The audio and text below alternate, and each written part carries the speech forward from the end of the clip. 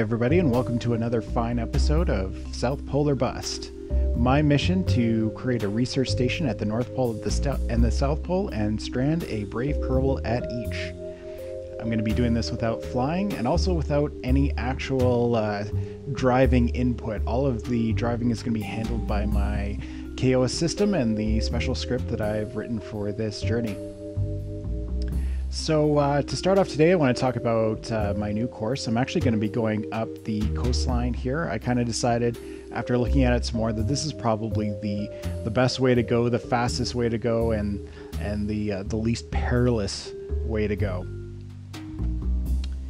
Uh, opening up my vessel today, I noticed that uh, some of my struts are kind of doing weird things. So I'm not sure if that's going to be a problem for me. Uh, I guess we'll see if my vessel breaks apart or what have you. Um, so yeah, uh, let's see what's new in kOS. Uh, if you haven't seen the video yet, um, the main things that uh, that are new are um, a lot of under the hood improvements. You're going to notice this when you're writing your white space. Um, it's going to be a lot more forgiving about how you do your white space. Uh, and the uh, the other big thing is the mod interoperability. Um, I uh, I started working on this feature a few weeks ago, and uh, I think that it's finally gotten to a place where I can go ahead and release it, uh, which is great because I'm hoping that. Uh, that Infernal Robotics will come out with, you know, using a lot of these bindings, and then I can go ahead and create the giant uh, walking spider of death that I've always dreamed of. Uh, let's see. Also, this week we had uh, one great video by Check86 who created a cruise missile. Um, it's not perfectly accurate, but it is pretty amazing. One of the uh, one of the fantastic uh, things about doing this mod is just, you know, seeing what the community comes up with and watching them blow me away because that's that's what's been happening. There was another uh, there was another video that I I did see it when he originally posted it. It's by Stephen Matting. Um, uh, but for some reason, I, I just didn't have time to sit down and watch it. I just watched it before I started recording this.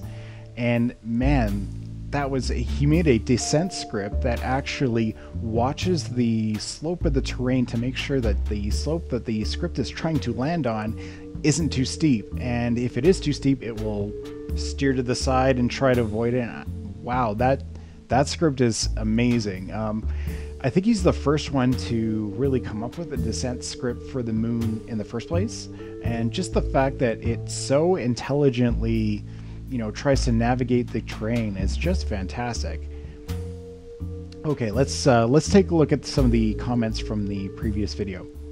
Uh, Mr. Mega Pussy Player says you should have attached a small fuel tank and a few Rockomax 2477 for prograde acceleration to overcome ha- harsh terrain. Um, the reason that I didn't include any rocket engines is because you know I, originally when I was looking at the way to, you know, how I wanted to drive to the South Pole, I was going to actually not go to the North Pole first, and I was going to actually use jet engines to propel me over uh, the smallest body of water that I could find. Right, just I was going to find the, the the smallest distance that I would have to go over a body of water, and I was actually going to fly over it. But then I thought, you know how exactly do I differentiate what I'm doing, which is driving, from flying? You know, if I'm flying part of the way, how is that different than than just taking a plane there?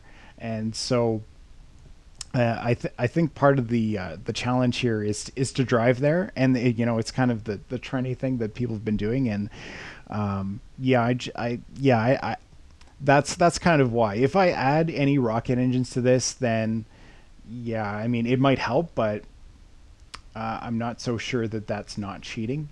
So, okay. Check 86 suggests labeling for the labeling for the proposed button, buttons on the bottom. So he's talking about the buttons that I was proposing down here. I was going to put uh, several numbered buttons that you could attach to in your scripts, maybe some some LEDs that you could control. Uh, and he's suggesting actually putting a little maybe display there or um, just some kind of a display that you can change so you can actually label that button. Um, I'm not against that, but I I'm a little concerned that if I do put something down here that you can change, that that might clutter up the interface here. Um, I'm sure that you know using the print at command, you can pretty much put a label anywhere you want, and uh, you know I think people can make use of the bottom row. Uh, it's what I do in the editor, so um, yeah, I, I'm not sure that's such a good idea.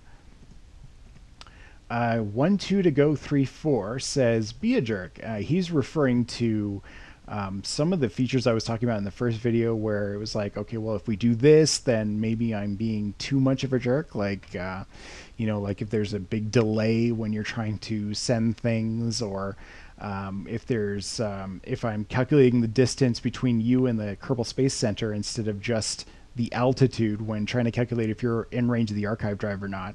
Um, uh, he goes on to say, uh, make this mod super hard. And he said that in all caps. And um, the thing is, there's a very fine line in just in any writing any kind of game is there's there's a fine line between frustration and challenge and writing a good game just comes down to finding out what the right balance between those two things is it's not a matter of just taking the um, you know taking the challenge and and multiplying it by 10,000 right you know um, you're just gonna turn off people I forget what it's called, but there's a, there's a psychological principle there that uh, when somebody comes across a challenge that they don't feel like it's even possible for them to succeed at, they're not more motivated to try. They're actually demotivated. So in that sense, uh, it makes the game less fun, right? When you're the fun in a game is when you're motivated to keep going and keep trying new things, and part of that is uh, is having some successes and having some failures, you know, and and having the sense that that if you continue trying at something that that it will uh, work out. So, uh, let's see here. Omascary asks if scripts can be called from one another like functions. Um, yes, they can. And uh, why don't I go ahead and just prove that right now? So I'm going to close the window on my main kOS unit, and I'm actually going to use one of these other units, which is which are the units that I'm going to be dropping off at the poles. So I'll just open one of those, and uh, we'll run a quick test here. So I'll declare parameter x uh, and then I'll just print x. And so that, that'll be my first program here. So run a1. Okay, so it printed out the 1. Now I'll create a second program.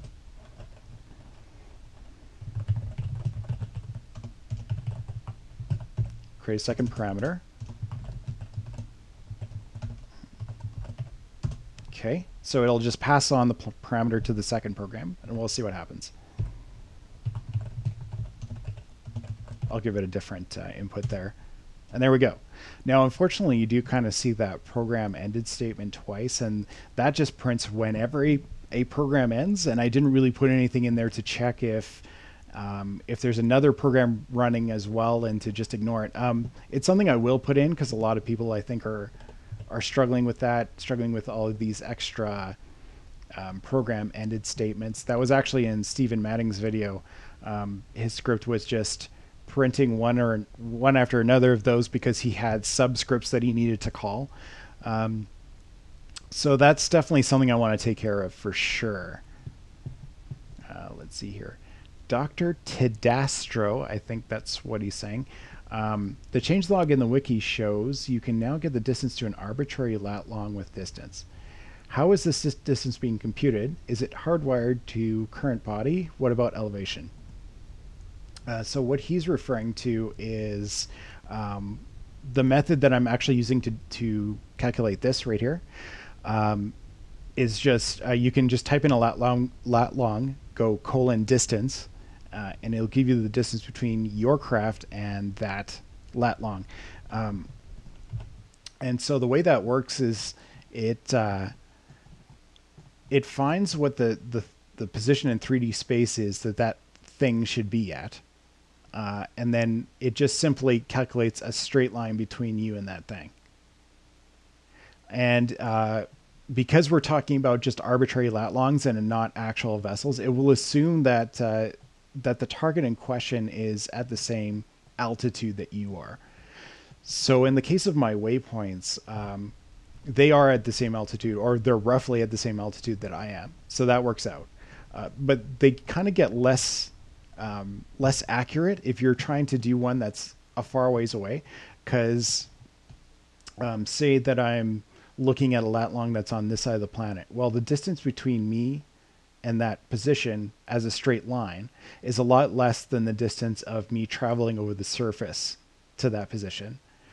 Um, it's something that I'm not entirely sure at this point how to fix. Um, well, I, I, I do kind of have an idea. I just need to sit down and do it. Uh, I just need to calculate basically the circumference of the planet, right? Um, when traveling in that direction. So, or, or the portion of the, the, circumference that I have to travel to meet that target. Uh, let's see here. Uh, a lot of people were happy about me fixing the radar al- altitude, and this is a problem that was just it just came bundled with with KSP that way. Um, when you look at the radar altitude value, it tries to find the distance between you and the terrain that you're over top of. And when you go over the boundary uh, over top of the water, it kind of just curves off, uh, and then and then it goes below a certain point and it, it just doesn't bother anymore. And it's not really useful for anybody to know what the distance between them and the bottom of the ocean is. So basically, what I said was if it ever goes low enough that you're below sea level, then just use sea level because that's what people are going to be interested in if, if they're landing in the water. Um, and also, uh, the other problem was if you went above 35 thousand feet, I think it was. Actually, I think that when I went actually went to test it, the it, the actual elevation that that would occur at would change. So, but when you went up high enough, for some reason the answer would go negative again. I don't know why. Um, I think maybe just when you go at a high enough altitude, uh, they the code they've written to detect your radar altitude just kind of it just can't handle it. I don't know. I don't know what's going on there. So basically, I just added some code that in some cases substitutes the regular altitude for the radar altitude when the radar altitude doesn't make sense. And I think that's working well for people. Uh, I got some feedback on the forums that uh, this was going to simplify some people's scripts. So I'm happy about that. I think that that's working out well. You may notice that, that we're closing in on the distance pretty quickly here, and that's because after the last video, I realized that uh, that it's hard to sit down and talk for 40 minutes. That's how long the last video was, was 40 minutes, and I could just barely find enough stuff to talk about during that time. So this time I calculated a distance that was a little under half, so we're almost there, so I better hurry up and finish here. Uh, let's see. Uh, Kavik Flygarn 87 writes, Yay, 0.7. When will it be able to access RCS for docking? Um, so right now there's no way to, to kind of, you know, RCS strafe, like, you know, use docking, um, docking controls for, with the RCS. It's something that I've wanted to put in for a long time, but something you kind of have to be aware of is that I don't think that kOS has everything it needs to actually execute docking yet. Um, basically, you would like uh, MechJeb uses um, MechJeb has you target. I think the the docking port that you're that that the other vessel the docking port on the other vessel is what you ha- what it has you target, and um, we actually don't have the ability to do. Oh wait a second, what's going on here? My distance is increasing. Why is that? Uh, looks like I'm pretty... No, I'm definitely driving... Okay, let me break this. What is going on here? You know what? The way, the way it just kind of died there. I think what what what's happened here is sometimes, um, sometimes when driving, especially with this particular car, it uh, doesn't seem to be able to get enough steer when it's moving at high speeds. Uh, hmm. Okay, well, anyways, back to the docking thing. Um, so I think MechJeb has you, it has you targeted a, a docking port for you to dock with, and it has you control from the docking port you want to use to dock. And then it does some crazy calculations that, that tell it how to line up with that. And, you know, and there's that other mod that that other docking alignment mod whose name I can't remember right now, which I think works the same way. I don't think we have any of the stuff yet that you would need to do that.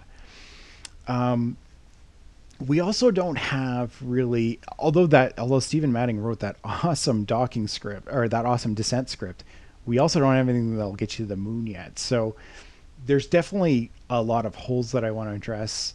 Um, a lot of these big questions of how do I actually? I, I think it'll be a great day. The, the the day that somebody posts a video saying I am the first one to to run a mission from beginning to end, completely automated, land something on the moon with my hands off the keyboard.